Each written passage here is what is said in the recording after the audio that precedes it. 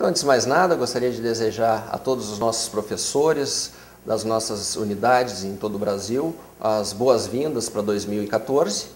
A Pró-Reitoria, nesse momento de início do semestre né, e também dos preparativos para todo o ano, está com uma série de ações que quer, eh, quer ver ser implementadas ao decorrer do, do, do, ano. Gostaria de citar então a Rede Ubra de Inovação, nosso processo de consolidação desse trabalho através dos nossos parques e incubadoras tecnológicas, que certamente propiciarão aos nossos professores uma alternativa bastante grande de atividade durante, ao longo desse ano.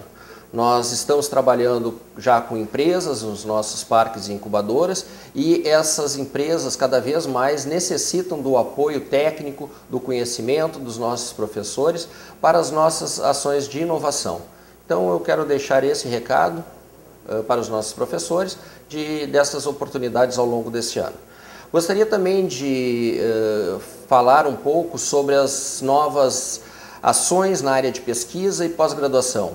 Pós-graduação hoje visto não somente como cursos, mas também como uma inserção tanto na sociedade, isso já é uma realidade através dos nossos programas de residência médica, mas também agora com uh, um trabalho entre escolas, o ensino básico e a pós-graduação.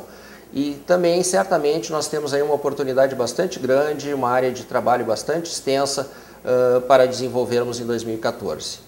Na pesquisa, estaremos trabalhando no fortalecimento dos nossos grupos de pesquisa, com novas atividades, com projeto, desenvolvimento de novos projetos e com certeza, ao final de 2014, temos a convicção de estarmos, termos começado uma nova etapa na Universidade Luterana do Brasil.